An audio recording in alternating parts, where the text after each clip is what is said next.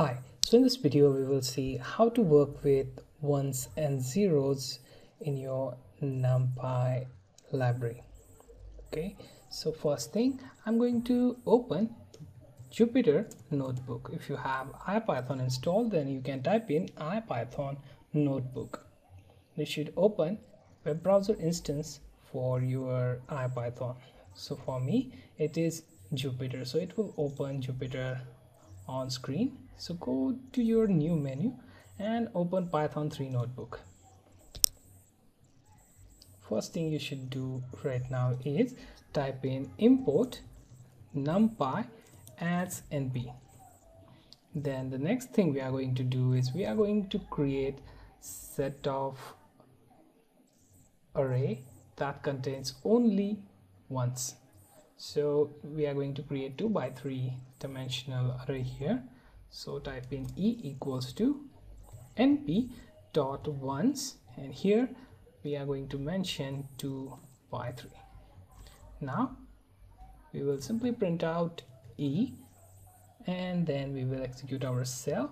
Go to cell menu and hit run.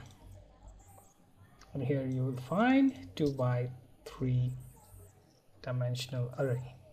Okay i will also specify the d type here. So for that let's create another array. Let's name it f. Name it because we want to do it on the different. So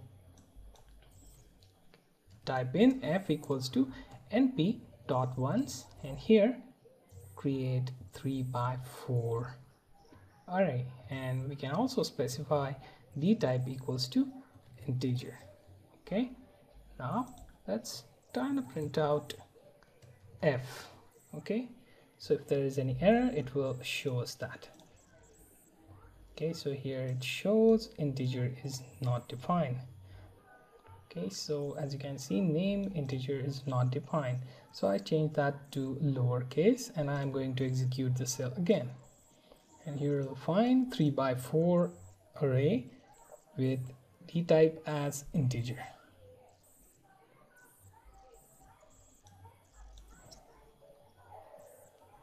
Now the same can be done for 0 as well. Let's create one variable or you can see data frame consisting of only 0 so type in np dot zeros.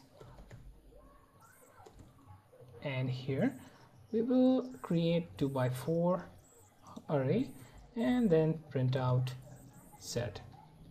Go to cell menu and hit run. And here you will find 2 by 4 array that we just created. Okay